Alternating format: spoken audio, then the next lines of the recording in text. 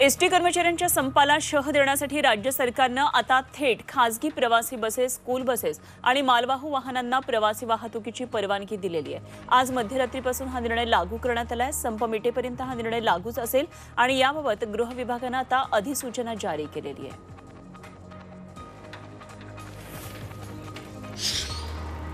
धुळे नंदुरबार जिल्ह्यामध्ये एसटी कर्मचाऱ्यांच्या संपामुळे प्रवाशांना मोठा मनस्ताप सहन करावा लागतोय. खासगी प्रवासी वाहतूकदारांच्या मनमानीमुळे प्रचंड भाडेवाढ झाल्याचं समोर आलंय आणि मुंबई पुणे नाशिक शहरामध्ये जाण्यासाठी अव्वाचे सव्वा भाडं आकारलं जात आहे त्यातच अधिक प्रवासी गाडीत बसवत असल्यानं जीव घेणा प्रवास या प्रवाशांना करावा लागतोय.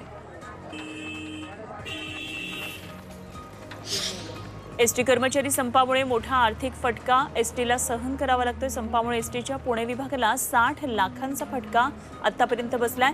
आणि पुणे विभागाच्या तेरा डेपोंमार्फत मिळणारं साठ लाखांचं उत्पन्न एस टीला गमवावं लागलंय.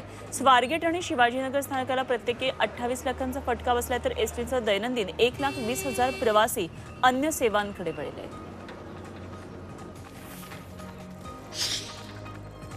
कोरोना संसर्गामुळे बंद असलेली निर्यात आणि स्थानिक पातळीवर उठाव नसल्यामुळे दूध पावडर आणि बटरचे दर हे कमालीचे कोसळलेत.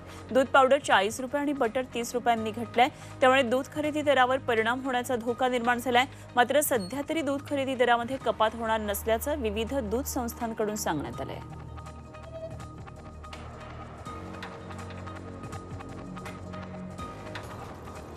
भारत बायोटेकच्या कोवॅक्सिन लसीला ब्रिटननं मान्यता दिली आहे. बावीस नोव्हेंबरला पहाटे चार वाजल्यापासून हा नियम लागू होणार आहे आणि याबाबत ट्रॅव्हल अडवायझरी जारी करण्यात आली आहे. डब्ल्यू एच एन ओ कोवॅक्सिनच्या आपत्कालीन वापराला मान्यता दिल्यावर ब्रिटननं हा निर्णय जारी केला आहे.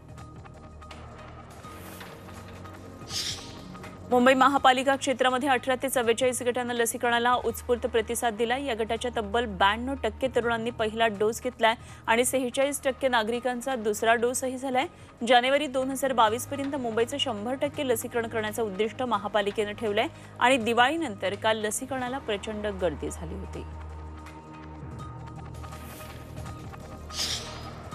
बीएमसीनं बारा वर्षावरील दहा लाख मुलांच्या लसीकरणासाठी तयारी केली आहे. नायर रुग्णालयामध्ये दोन ते अठरा वर्षावरील पंधरा मुलांवर केलेली ट्रायल ही यशस्वी ठरली आहे आणि लहान मुलांना जायकोव डी लस सुईनं नव्हे तर जेट ॲप्लिकेटरच्या सहाय्यानं देण्यात येईल. अठ्ठावीस दिवसांच्या अंतरानं तीन डोस दिले जाणार आहेत.